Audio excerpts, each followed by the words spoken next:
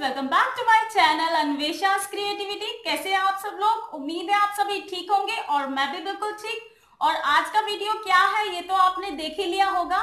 ये एक requested video है। आप में से काफ़ी सारे लोगों ने मुझे रिक्वेस्ट किया था कि मैं बर्ड हाउस का डी लेकर के आऊँ।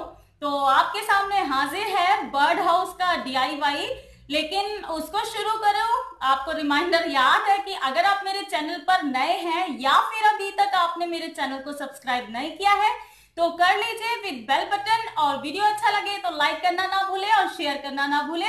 तो चलिए शुरू कर कार्डबोर्ड का डब्बा आप देख सकते हैं ये स्क्वायर है एग्जैक्टली exactly, लंबाई और चौड़ाई इसकी बराबर ही है। आप लंबाई थोड़ी ज़्यादा होगी तो भी अच्छा रहेगा। तो मैंने क्या किया है एक साइड से तो ये बंद है आप देख सकते हैं। एक्चुअली ये मेरी बेटी ने पेंटेड पेंट कर दिया था इसके ऊपर। तो आप सिंपल भी ले सकते हैं, ज़रूरी नहीं है कि पेंट ही करना है। और ऊपर से मैंने एक सर्कल कट कर लिया है इसके ऊपर। आप देख सकते हैं, एक तरफ़ से बंद है और एक तरफ़ से मैंने इसमें सर्कल कट कर लिया है। और सर्कल कट करने के बाद में ये जो साइड वाले फ्लैप जो होते हैं, उनको भी मैंने कट कर लिया है। पेंसिल लगा करके मार्क करके और मैंने ये कट कर लिया है। और इसी तरीके से मैंने एक जो पुरानी नोटबुक वगैरह होती है, वो मैंने पुरानी नोटबुक ली है और उसको भी मैंने कट कर लिया है। इसी के साइज़ से। आप देख सकते हैं, ये इस टाइप से मुझे रखना है, इसको इस तरीके से रखना है और इसको मुझे सेलो टेप की हेल्प से स्टिक करना है। लेकिन स्टिक किस तरीके से करना है कि ये बिल्कुल एग्जैक्ट ठीक लगे? ये मैं ले रही हूँ थोड़ी से पुराने न्यूज़पेपर और पुराने न्यूज़पेपर को मैंने थोड़ा फाड़ लेती हूँ मैं।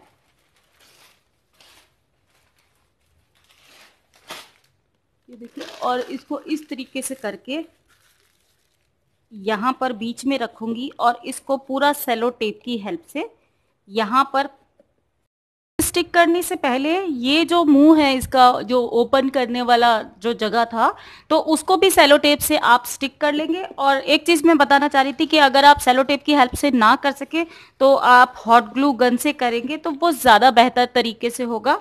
तो यहाँ पर इस तरीके से लंबाई में आपको न्यूज़पेपर रखना है और उसके ऊपर रखना है आपको इस तरीके से ये पेपर ये जो मैंने पुरानी नोटबुक ली थी, उसको कट कर लिया था। इसकी लेंथ के बराबर थोड़ा सा बाहर निकल रहा है, क्योंकि अच्छा लगे देखने में और थोड़ा आगे की साइड से और थोड़ा बाहर की साइड से। तो अभी हमें क्या करना है, यहाँ पर ग्लू लगाना है। अगर आप चाहे तो सुपर ग्लू भी लगा सकते हैं। बस हमें मेनली इस तरीके से इसको स्टिक करना है।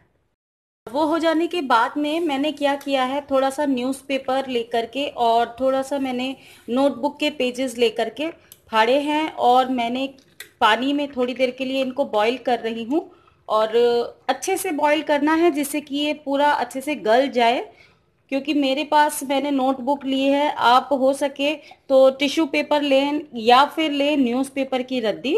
तो इसको अच्छे से बॉईल करके बिल्कुल लुगदी जैसा बना लेना है, क्योंकि पाँच मिनट तक अगर हम बॉईल करेंगे, उसके बाद ही पेपर सॉफ्ट होगा। लगभग पाँच मिनट तक बॉईल होने के बाद में मैं इसको इस स्ट्रेनर में छान लूँगी और ऊपर से मैं पानी डाल दूँगी इसमें। सो so, इसको मैंने स्ट्रेन कर लिया है और स्ट्रेन करने के बाद में मैंने हाथ से इसको थोड़ा सा इस तरीके से अलग अलग कर लिया है। आप देखेंगे कि जो न्यूज़पेपर की रद्दी थी वो तो अच्छे से लुकदी हो गई है और ये नोटबुक की पेपर वाली जो है वो थोड़ी हार्ड होती है तो इसलिए ये नहीं हुई है। तो कोशिश करें आप सिर्फ़ न्यूज़पेपर की ही लें मेरे पास न्यूज़पेपर था नहीं तो इसलिए मैंने ये लिया है। तो स्ट्रेन करने के बाद में मैं इसमें मिला रही हूँ ग्लू और ग्लू लगभग हंड्रेड ये कितना है? ग्लू, आप लगभग ये 50 एम की पूरी बॉटल डाल दें। और मेरे पास, मैं इसमें थोड़ा डाल चुकी हूँ। ये वाइट पीवीए ग्लू है जो आपको यूज़ करना है इसमें।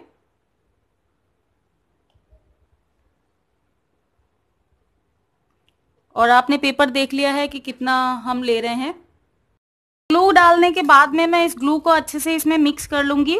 और ये थोड़ा लिक्विड ही हो जाएगा क्योंकि थोड़ा सा मैंने पानी भी डाला था ग्लू की शीशी में और फिर उसके बाद में उसमें ग्लू कर दिया था। तो इसको अच्छे से आप बिल्कुल मैश कर लें और फिर मैश करने के बाद में इसमें हम मिलाएँगे मुल्तानी मिट्टी। ये मुल्तानी मिट्टी जो हम फेस पे लगाते हैं, मैं वो वाला ले रही हूँ। और इसका एक डो तैयार कर लेंगे अच्छे से मिक्स करके।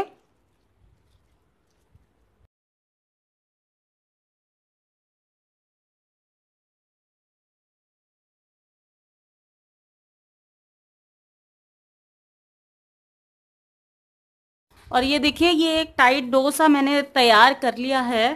और ये बन जाने के बाद में ये जो मेरा बर्ड हाउस था, इसके ऊपर मैंने यहाँ पर आप देख सकते हैं, यहाँ पर दोनों साइड पर मैंने हॉट ग्लू गन की हेल्प से इसको चिपकाया था, क्योंकि ये टेप की हेल्प से स्टिक नहीं हो रहा है तो इसलिए मैंने इसको हॉट ग्लू गन की हेल्प से स्टिक किया था।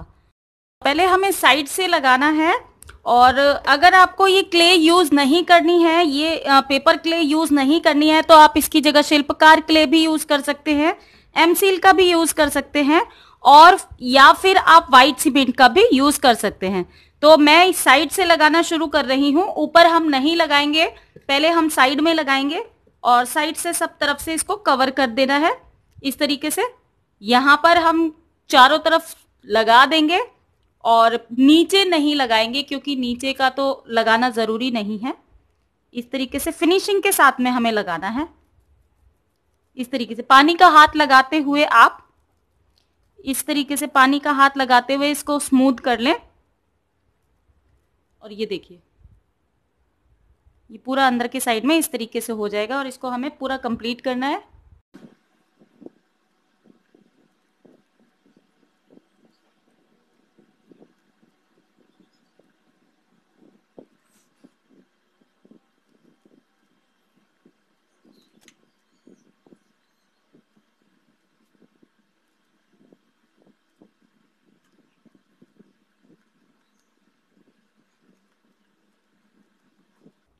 और ये देखिए, ये यहाँ पर मैंने सब तरफ़ वो लगा दिया है। हमने अपना पेपर क्ले जो था अब देखिए कि मैंने ये साइड में भी लगाया है, अच्छे से फ्रंट में भी लगाया है और यहाँ पर भी लगाया है और इधर भी लगाया है। लेकिन मैंने नीचे के साइड में नहीं लगाया है, क्योंकि नीचे के साइड में हम सिंपल पेंट भी कर सकते हैं। तो और जहाँ पर भी आपको फिनिशिंग की ज़रूरत कम लगे तो वहाँ पर आप थोड़ा सा पानी का हाथ लेकर के इस तरीके से स्मूथ फिनिशिंग दे सकते हैं। और अब मैं इसको तब तक सूखने के लिए छोड़ूँगी जब तक कि ये अच्छे से सूख नहीं जाता, बिल्कुल अच्छे से ड्राई नहीं हो जाता। जब ये अच्छे से सूख जाएगा, बिल्कुल हार्ड हो जाएगा, उसके बाद में हम आगे का काम करेंगे। इसके ऊपर मुझे और काम करना है, इसलिए मैंने यहाँ पर जो हमारी पेपर क्ले थी, वो मैंने यूज़ नहीं की है। और इसको यूज़ करने से ये थोड़ा हैवी भी हो गया है। जाने के बाद में मैं एक काम और कर रही हूँ, क्योंकि अगर आपको इसको हैंगिंग चाहिए तो मैंने क्या किया है कि ये एक धागा लिया है, काफ़ी मोटा और काफ़ी मज़बूत धागा है ये।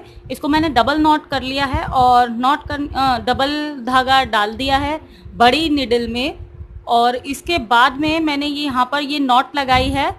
डबल नॉट है ये और डबल नॉट के बाद में मैंने इसके अंदर लगाया है एक पॉम पॉम और इसको अभी चूँकि ये गीला है तो मैं अभी ही कर ले रही हूँ। ये काम मुझे बहुत पहले करना था।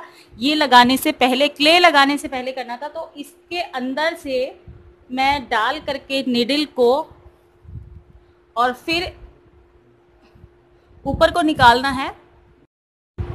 और ये देखिए, ये मैंने निडल निकाल ली है। और ये थ्रेड इसके अंदर आ गया है और अब ये हैंग करने के लिए हो गया है और मैं इसको लगभग रात भर के लिए छोड़ूँगी, सूखने के लिए और उसके बाद में इसके आगे का काम करूँगी।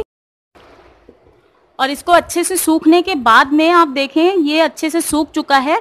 अभी यहाँ से नहीं सूखा है क्योंकि यहाँ पर दो तीन दिन से बारिश हो रही है, लेकिन आप तभी इसके आगे का प्रोसेस करें जब ये अच्छे से ड्राई हो जाए। मेरा एक तरफ़ से बर्ड हाउस ड्राई हो गया है अच्छे से और एक तरफ़ से अभी गीला है क्योंकि इसको सूखने में पूरे दो दिन लगे हैं। और जब जो सूख जाएगा, उसके बाद में ये सिल्वर फॉइल पेपर मैंने लिया है। इसको नॉर्मल पीवीए ग्लू की हेल्प से मैंने यहाँ पर स्टिक कर दिया है। आप चाहें तो इस पर सिल्वर फॉइल पेपर की जगह जो किचन नैपकिन होता है, उसको भी ग्लू की हेल्प से स्टिक कर सकते हैं।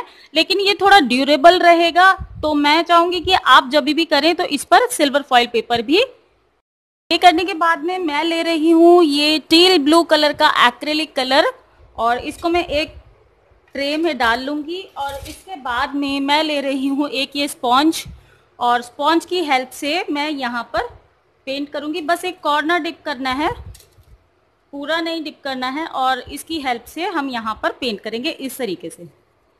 डैब डैब करते हुए करेंगे। पेंट जल्दी भी होगा और अच्छे से भी होगा। आप अपना मनपसंद कोई भी कलर कर सकते हैं। मैंने स्काई ब्लू कलर किया है। हाउस के ऊपर मैंने कर दिया है स्काई ब्लू कलर और ऊपर इसकी छत के ऊपर मैं कर रही हूँ ऑरेंज कलर और ऑरेंज कलर करने के लिए आपको एक टिप देती हूँ। इसको ज़रूर फॉलो कीजिएगा क्योंकि अगर कई बार ऐसा होता है कि यहाँ पर हम कलर कर रहे हैं कोई भी कलर अगर आप कर रहे हैं तो उसमें क्या होता है कि कई बारी आपका कलर अच्छे से नहीं हो पाए। तो उसके लिए, क्योंकि कई बारी चमकता है तो उसके लिए एक टिप है, हल्का सा यहाँ पर ग्लू लगाया इस तरीके से रूफ के ऊपर, और उसके बाद में आप कलर कीजिएगा।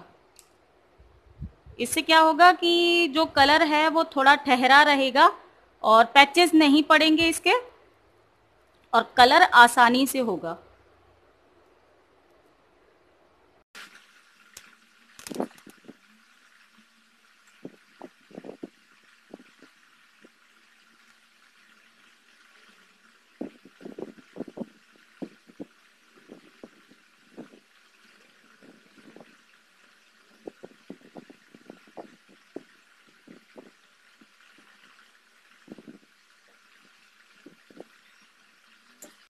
कंप्लीट होने के बाद में मेरा बर्ड हाउस कुछ इस तरीके से दिख रहा है।